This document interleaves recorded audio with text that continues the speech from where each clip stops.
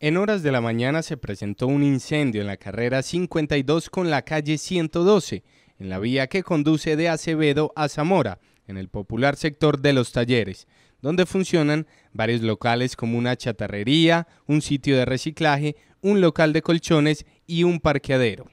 Desde su cuenta de Twitter, el Departamento Administrativo de Gestión del Riesgo de Desastres de Agret informó que unidades de bomberos hicieron presencia en el lugar de los hechos para atender la emergencia y que por el momento no se han reportado personas lesionadas.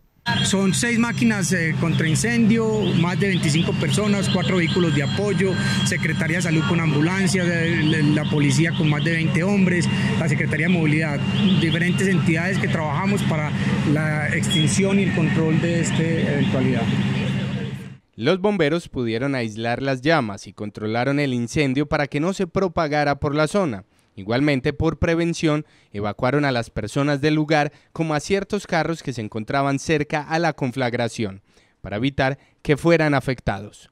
En los locales cercanos que contaban con pipetas de gas, se hizo la respectiva refrigeración para que no entraran en calor y posteriormente pudieran explotar. Aún no se conocen las causas por la cual comenzó el fuego, pero ya las autoridades se encuentran investigando los posibles motivos.